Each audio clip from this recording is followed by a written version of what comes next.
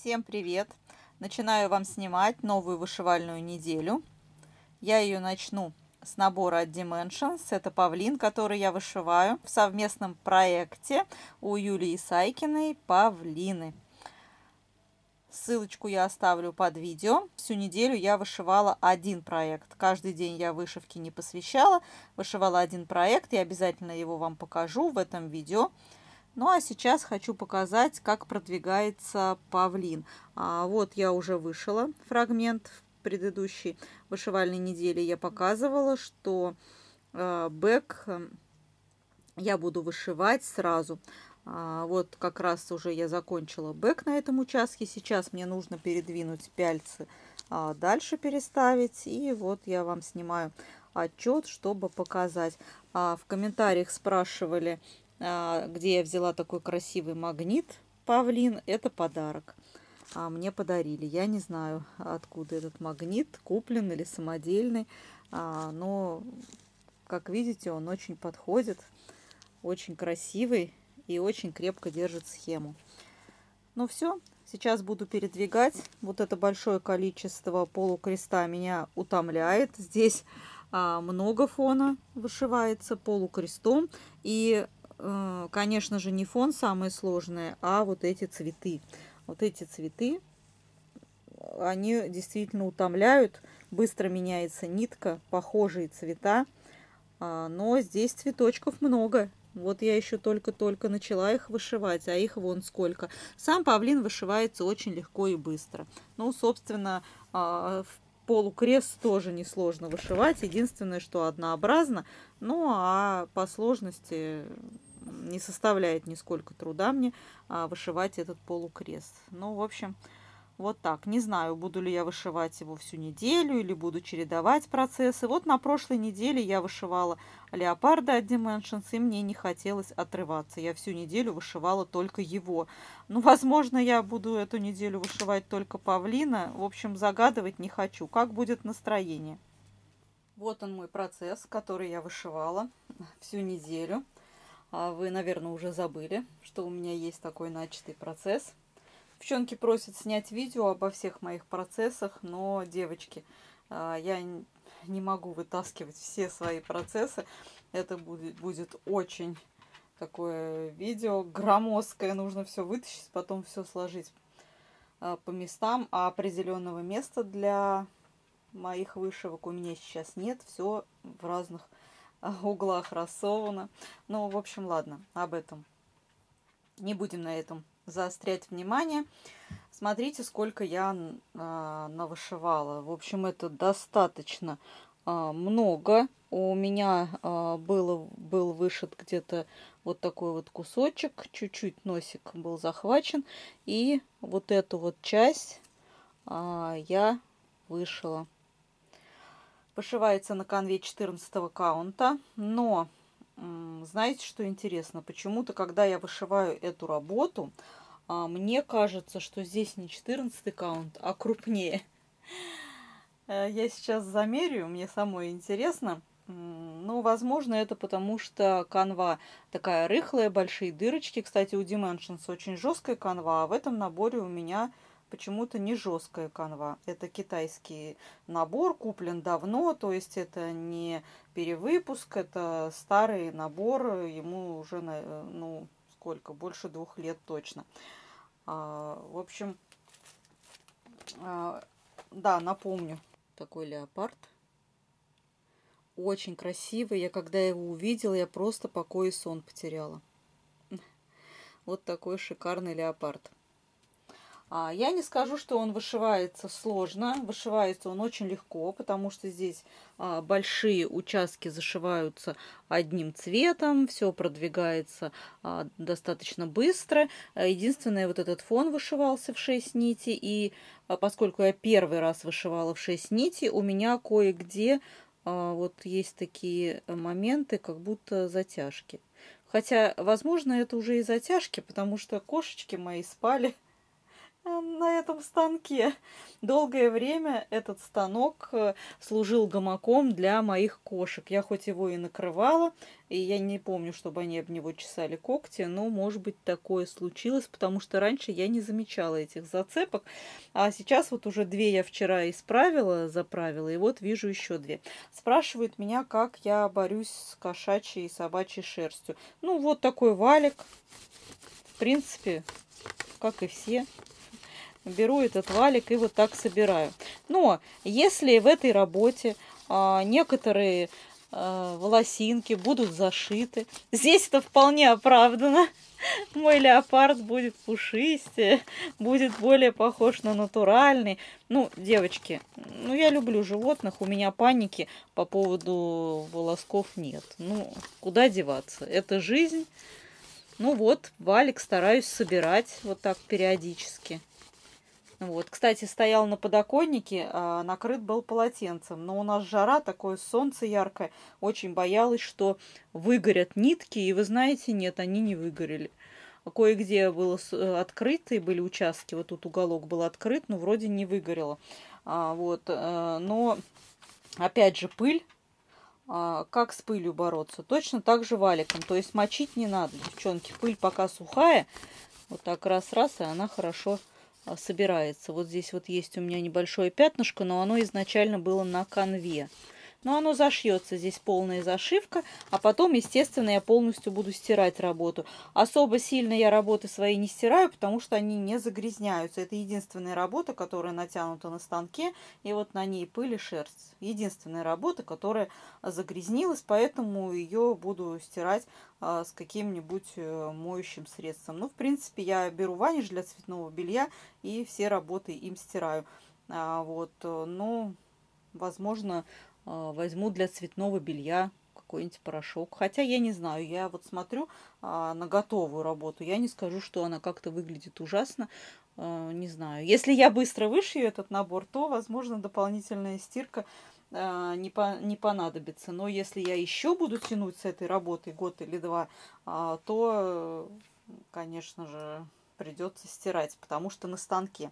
Вот, девчонки, когда много процессов, а лучше их вышивать на пяльцах. Когда процесс один, то он быстро продвигается, его можно держать на станке. Но это я для себя такой вывод сделала.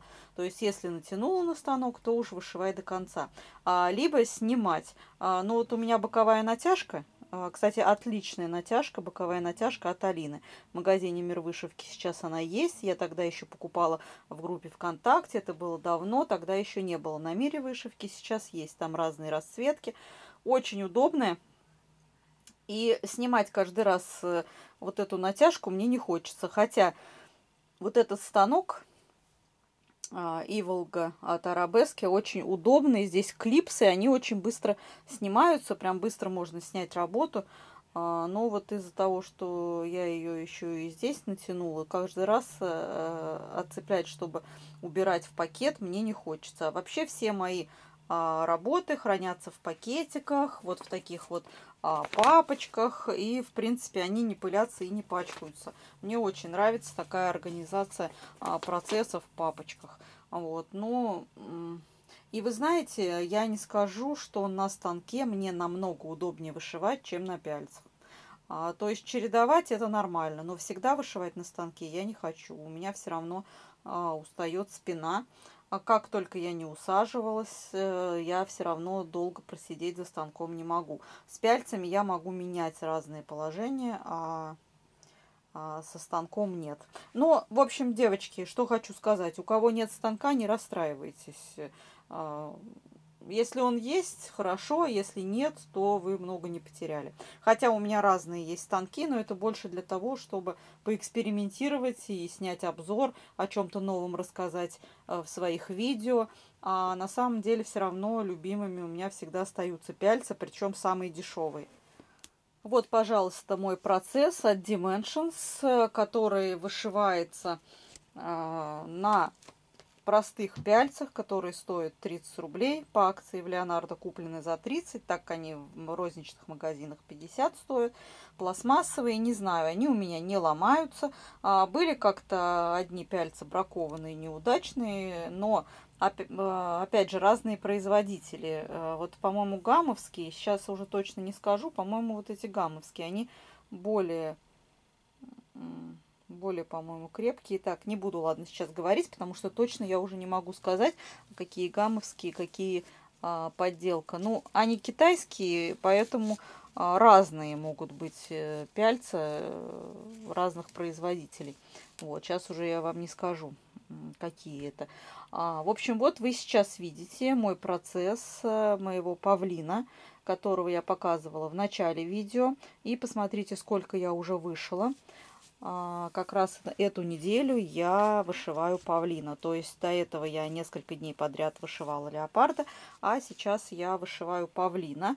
А, бэкстич уже у меня сделан, вот как внизу он у меня сделан, вот здесь выше уже перышки пошли. А, ну, в общем, продвигается тоже достаточно быстро. Набор легкий. Единственное, как я вначале говорила, сложные вот эти цветочки. А вот здесь вот все легко. Но чем сложно вышивать павлина? А, то, что повторяются фрагменты. Вот эти кружочки, кружочки, и тут еще дальше кружочки, кружочки. Потом нужно будет делать бэкстич, эти кружочки между собой, перышки а, соединять. Но это я уже буду отдельно делать другим цветом. Сейчас вот одним цветом я а, делаю вот этот back, а вот эти перышки я оставлю напоследок, когда полностью работу вышью, то а, сделаю back на этих перышках. Сейчас покажу, как это будет выглядеть. А, вот, видите, сколько кружочков, и они backstitch ем между собой соединены вот такой вот желтой ниткой. По-моему, в два сложения. А, ну, в общем, вот такой должен получиться узор. Пока я только вот эти вот а, перышки вышила только-только дошла вот до этих перышек. То есть получается, а, я вышила одну четвертую работы. Четверть работы уже у меня вышита. Ну, в принципе, я считаю неплохие продвижения. А, буквально за неделю. До этого у меня был начат, там было несколько крестиков э, сделано. Ну, вот э, а, четверть работы у меня вышита. Ну, если, конечно же, еще учесть, что огород вот. Э, я считаю, для лета очень хорошее продвижение. Эту вышивальную неделю я закончу чуть раньше. То есть, э, если до этого я снимала с понедельника по понедельник или со среды до среды, сейчас я снимаю с понедельника по пятницу, субботу, воскресенье. Мне показать будет а, нечего особо, я не планирую в эти два дня вышивать, поэтому я думаю, что видео смонтирую и выложу так, как есть. Задача моего видео показать вам свои продвижения, сделать отчет по процессам, ну, показать, что я вышивала, очень длинные видео пока снимать не буду. Девчонки, честно скажу, а, столько у меня было трансляций 5-часовых и 24 часа марафон.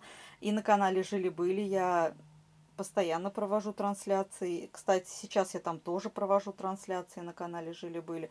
А, вот. Но вот снимать очень длинные видео нет времени, хочется летом отдохнуть. В общем, я решила взять что-то типа отпуска, но совсем я пропадать не буду, я просто буду делать короткие отчеты. А, еще, конечно, хочется поболтать, снять какой-нибудь тег, но, девчонки, честно скажу, а не хочу отрываться от вышивки. А, поскольку я сейчас не работаю, и э, я так соскучилась по вышивке, а, я хочу вышивать. А, ну, как-то, не знаю, тратить время на то, чтобы снимать болталку, пока не хочется. Э, вы знаете, я привыкла все делать до упаду. Вот когда уже совсем спина отвалится уже от вышивки, уже не смогу сидеть, тогда я сяду, буду с вами болтать. Я не умею чередовать, хотя это нужно, нужно этому учиться, а, то есть все делать дозированно, но я, девочки, не умею. Я получаю удовольствие и ловлю кайф, а, когда я что-то а, делаю вот так вот много оптом. То есть, вот знаете, прям навышиваться надо вдоволь, потом наговориться вдоволь. Вот. То есть, то отдохнуть вдоволь, то наработаться до упаду. Не знаю, вот э, хоть я и устаю, при таком образе жизни, но я получаю от жизни кайф. А когда я что-то начинаю менять в своей жизни, а, то я теряю наслаждение от тех занятий, которые я делаю. Вот не знаю, всю жизнь стараюсь себя переделать, а, но прихожу к выводу, что не нужно так сильно себя ломать, раз уже до 50 лет уже устоялись такие у меня стереотипы, да, что вот нужно делать так. А, ну, не знаю. Не могу оторваться. Вот вышиваю, вышиваю. Знаю прекрасно, что оторвусь, когда шарахнет давление или прихватит спину. Ну, хочу вышивать, девчонки. Ну, что поделаешь. Ну, видите, какие продвижения. А сейчас, когда я вижу уже, смотрите, что появился уже леопард, э, и уже сейчас, когда дойдут до половины, а, то наоборот, э, мне еще больше хочется вышивать, чтобы, когда уже видишь, что а, ты перечерк... уже перешла экватор, да, перешагнула, пол работы вышито, и ты уже на финишной прямой, там вообще невозможно остановиться, девочки. Там прям уже хочется вышивать и вышивать. Вы знаете, вышивать мне помогает погода. Вот сейчас уже ближе к ночи 25. Вот видите, днем было 34, а, вчера было 35. И сегодня еще и дождичек шел. А, ну, это очень хорошо, что шел дождичек, потому что, ну, сами понимаете, 34, 35, 36 это очень жарко. И в такую погоду, если куда-то нужно сходить, то только либо рано утром, либо поздно вечером. Днем мы в такую погоду стараемся а, на улицу не выходить. Ну и сегодня еще и чуть-чуть был дождичек. Очень было душно при такой температуре 34 и дождь. Поэтому а, вот погода помогает мне отложить все мои дела. Мне, конечно же, нужно и на почту сходить, и на рынок надо сходить. А, но а, погода мне как раз в этом помогает вышивать. То есть погода говорит, сиди дома и вышивай, все дела сделаешь на следующей неделе. А сейчас я сделаю то, что хотела сделать давным-давно. Хотела давно сделать, но почему-то руки не доходили. Я хочу замерить количество э, крестиков. А, не знаю, сколько здесь сантиметров, но это не важно. В общем, я взяла вот такой измерительный циркуль и замерила клеточку. И теперь также замеряю клетку в барсе. Как видите, 9 клеток.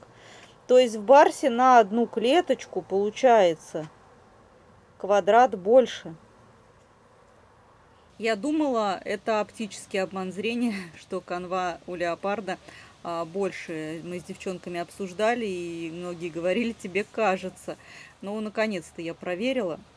Вот смотрите, здесь написано а, так, что здесь написано. Девчонки, кто в английском разбирается, 15 ин 12, да? А здесь что у нас написано? 9. Ну, то есть здесь канва 14 каунта. Так. Так, а у леопарда каунт не указан. Ну, в общем, девочки, э, хоть я и в английском не сильна, но я вам сейчас показала, что а, каунт у леопарда крупнее, чем а, вот у этого павлина. А я еще думаю, почему канва вот здесь такая рыхлая, а здесь плотная канва. А, то есть не только качество канвы отличается, но и каунт канвы отличается. А, я вышивала этого леопарда, я начала вышивать давно. Я вообще еще даже не обращала внимания особо на каунт, что они бывают разные. А, Все хотела взять и замерить, ну, наконец-то я это сделала. Действительно, вот здесь канва крупнее. Вот как видите. Вроде как она и не 10 и не 11 каунта, потому что на 10 на 11 у меня есть подушка, там вообще огромный а, каунт. Ну вот, как видите, все-таки мне не показалось, на одну клеточку действительно а, вот эта канва крупнее. Вот так интересно получается. А, у Dimensions значит, разная основа. Здесь мягкая, рыхлая такая основа, а вот здесь в этом наборе очень жесткая и плотная.